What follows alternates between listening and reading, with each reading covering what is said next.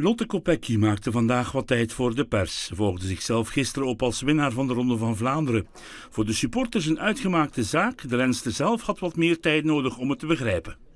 Ik durfde pas echt in te geloven rond 5 kilometer voor de finish. Omdat die laatste strook was echt ja, zo hard wind dat ik dacht van ja, als ik hier zoiets eh, zonder energie val, dan, eh, dan, uh, ja, dan kunnen nog lange kilometers worden. Dat energiepeil schoot nog meer de lucht in op de oude Quaremont. Daar wist Kopecky de Italiaanse Silvia Persico af te schudden. Met dank aan de duizenden supporters. Ja, dat was heel speciaal. Um, ik wou daar echt wel van Persico van afgeraken. Uh, dus ik trok door van aan de voet en ja, dan was gewoon één ja, één geroep van, van ay, mensen die mij eigenlijk omhoog schreeuwden.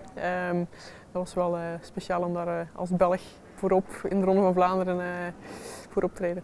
Met deze tweede zege op Vlaanderens mooiste komt Lotte Kopecky op de lijst der grote te staan, samen met wereldkampioene Annemiek van Vleuten.